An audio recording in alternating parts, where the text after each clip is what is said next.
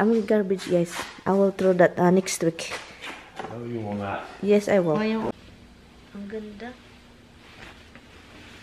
Good morning, Philippines! Umaga, ang gagawin, na, gagawin ko is magawa ng banana bread.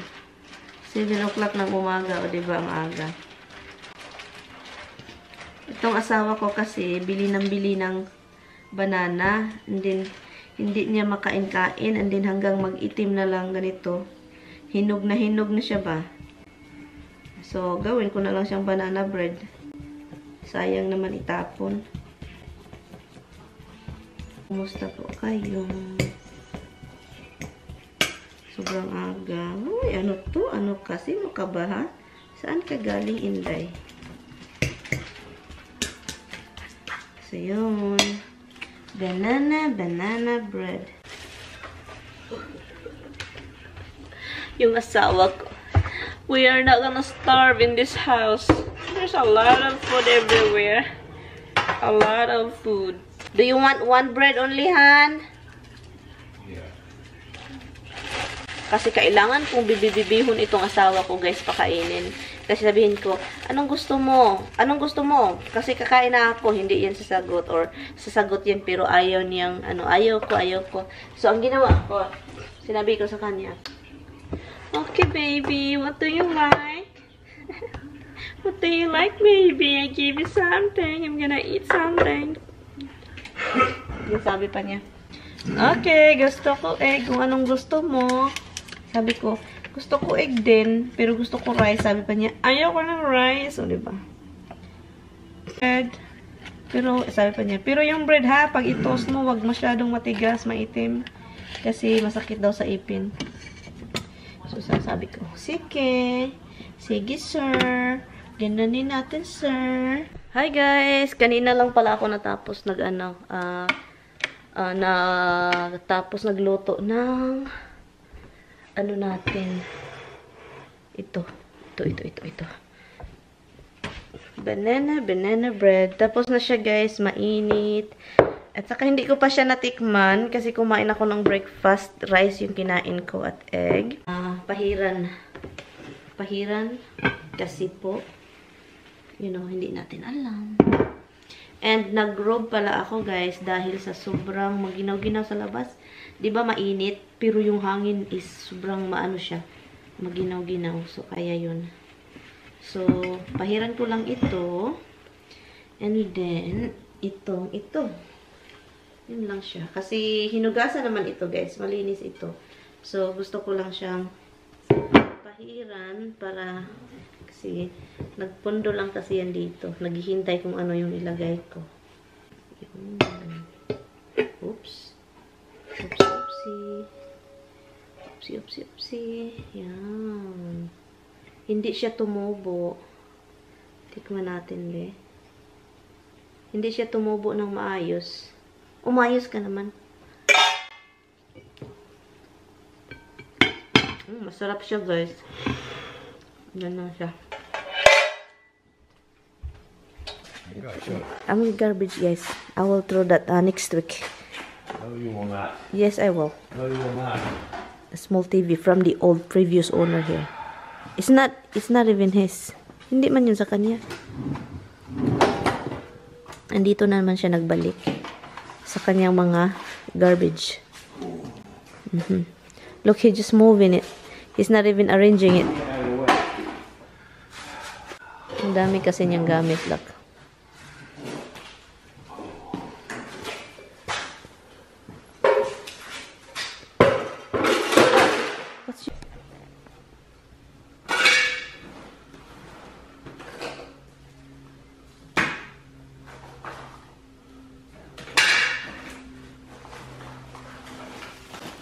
Please. Hala, that's the thing, Han. You have to keep that. Yeah. Put it close to the where you put the thing. Why is it get separated? I don't. Mm, I really wanna spray over here, Han. With the bugs and flies. Yeah. And vacuum. You know the that window over there? Yeah. Huh? Shop back there. Yeah, because yeah, that one I that just want to go to Lowe's and get those hanging things that That Angelo said? That's the one you hung it over there.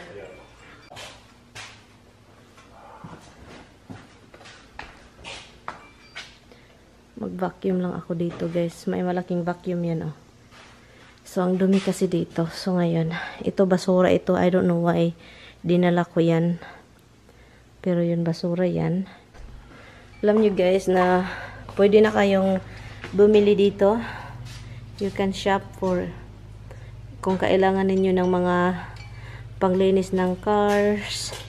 Look, you can come here and shop. Napagdesisyonan ko, nalinisin ko yung window glass kasi po ang daming cobweb at saka yun, ang dumi-dumi na. So matagal na kasi itong hindi na linis. So kaya nililinis ko and then tinulungan na rin din ako ni Mr. Kasi nga yung isa hindi, hindi ko talaga maabot at ito kaya kinuha niya ito kasi binaba kasi hindi ko din yan abot. So kaya yun. Dito lang muna tayo guys. Salamat sa panonood. Marami pa kaming galing kami doon sa garahean. Meron tayo dito yung mga gamit ni Bianan. Tignan natin ito yung mga donation. Hello eh. Look oh, sa sister-in-law ko to ba? Um, boots oh. Ang, ang ganda guys. Siya. I-donate ito kasi ano, pala totoong leather siya. Like oh. Na, nakatag, nakatatak. At saka kapag hawakan mo, totoo talaga. Sobrang totoong leather. So, ito po siya. I-donate natin ito. Ibigay. I-donate. Oh, look. Mga shoes ni Biana na hindi niya nagamit, look. Size 9. My God, ang mahal naman ito, eh. 59. This is 60 bucks. She never wore it. Look. Is this gonna... Eight? I'm gonna send this to the Philippines, son. It's really nice. Yeah, okay. Was it all Isabel stuff that she got rid of? This is mom. This is Isabel boots, real leather. And this is mom. I know it. It's my, he, she bought it just this one because uh, right. Yeah. Look, oh guys, oh, padala ko na lang to sa Pinas. Some of the like, you know, para magamit sa family. Basta my mother or my sister. This, one we can donate. I don't know if somebody will use it. That could be girl or boy, that make a difference. I'm not gonna send this. This can be donated. Look guys, oh, nice. Why she have underwear here? Uh, And it's brand new. Let me see if it'll fit because you know maybe pillows wrapped up in I have a granny and the hala. Still brand new. I can send this to my mom. Next tayo guys. Oh.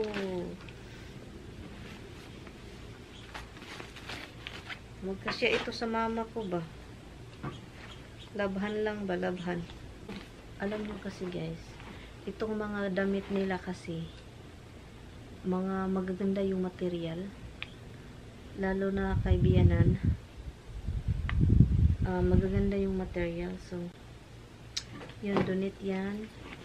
I-fast forward na lang natin guys para hindi kayo mahirapan sa ano, ah, ma- ma- mataas na yung video. So, ang ginawa ko dito guys is ah, tinitignan ko lang din yung mga magagandang mga jeans at mga damit ni Mister. Kung alin yung itira for tummy, kung alin yung idonate, at kung alin yung para sa family ko Pinas. Naguguluhan ako sa damit na ito guys. Sabi ko, hmm, ibalik natin yung iba kasi idonate yun karamihan. And then meron din akong nahanap para sa family ko. Yun. Alam nyo ba guys, habang naghahalongkat ako dito, amoy na amoy ko yung biyanan ko, man, biyanan ko. Grabe talaga. So sabi ko, bakit andito si biyanan? Amoy na amoy si biyanan.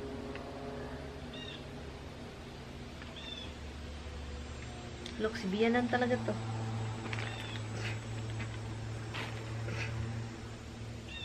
Ito yung raincoat na binili namin para sa kanya.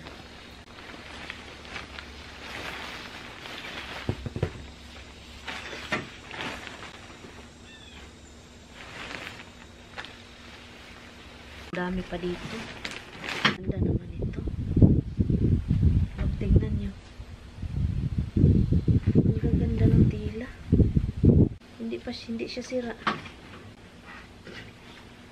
Pang babae ito, pang lalaki. Wow, ang ganda nito eh. Walang walang size. Ano tong klaseng damit? Pang babae man ata ito eh. Ay, pang lalaki guys, look. Hmm? Ang gaganda. Ang ganda.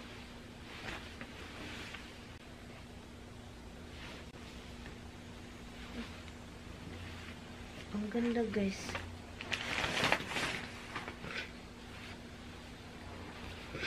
Magamit ito ni Tami ba kung ano. Pag may okasyon. Pula talaga oh. Ang laki niya. Ito ba yung sinuot ni Bien? Tingnan niya.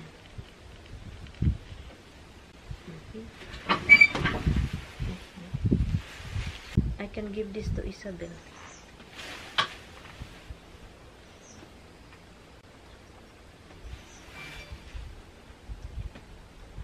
Ibigay ko to sa anak niyang babae kasi lumaki talaga siya.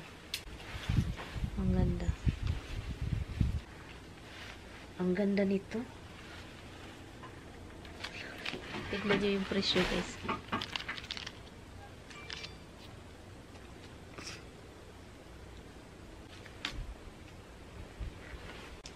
Nice one. Uy, mahal talaga. Hindi ito na suot ni Bianan. Hmm. Ah, ang ganda nito.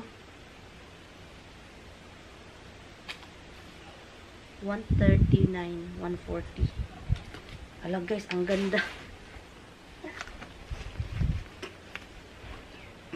Look, oh. Ang ganda niya. May slacks, and then ito dito sa ibabaw. Mag t-shirt ka lang, and then nilagay mo to siya. O mag, mag may pang ilalim ba.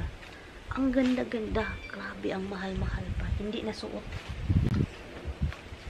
Ibigay ko to sa anak niya.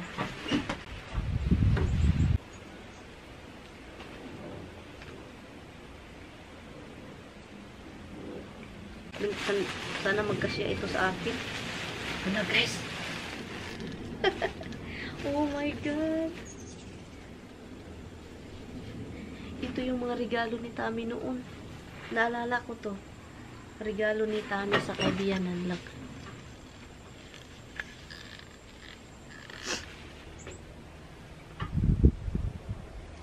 Dress siya guys, dress. Parang, oh my God. Sus, kung sa mag-ano pa to, maliit pa to, ay nako, gusto ko to, look. Pang ibabaw sa dress. Pang cover ba sa armpits. look. Okay, last bag na to. Ay, sa mga kapatid kong lalaki ba? Yung mga pantalon. Ang daming pantalon ni Tami din dito ng mga maliliit. Yung ah, bata pa siya. Sayang naman ito. So, pinipilian ko lang siya guys kung alin yung i-donate at alin yung ibigay sa mga kapatid kong lalaki. So, kaya yun. Ang dami kasi magaganda yung ibang pantalon, Levi's. Yun, at saka yung ito. May ano na tayo para sa lamisa. Sayang itapon. Ang ganda kasi nga guys. Ah, garbage. This is all garbage here. Bags. And that's the donation. 1, 2, 3, 4. Apat na bag. And yun. So, ako naman, I'm going to wash this hand. Okay?